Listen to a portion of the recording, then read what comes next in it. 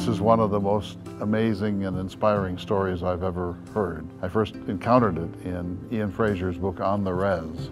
Sue Ann Big Crow was a young Ogallala Lakota woman, superb basketball player. Even in eighth grade, she was so good that they put her on the varsity team.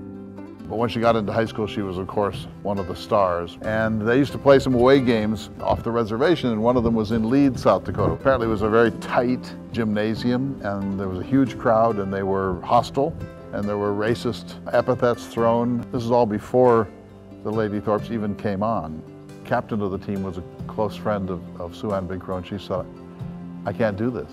I just can't do this. And Sue Ann said, well, I'll do it. I'll, I'll lead.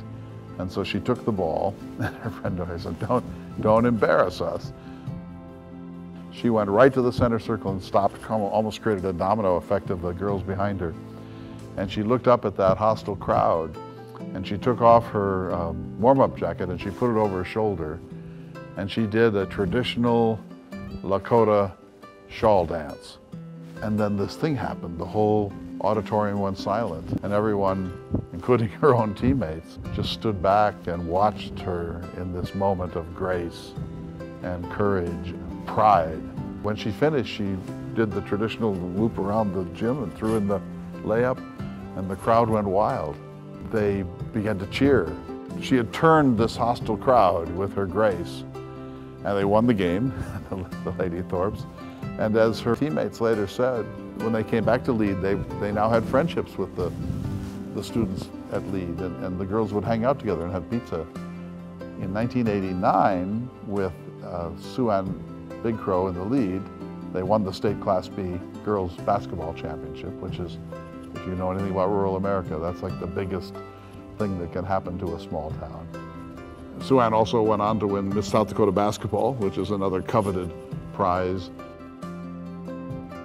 Then in 1992, when she was just under 18 years old, she was driving uh, east on I-90 near Murdo, South Dakota. Nobody knows quite what happened, but uh, she rolled the car. And nobody was wearing seat belts. She was thrown into the median and died later that day.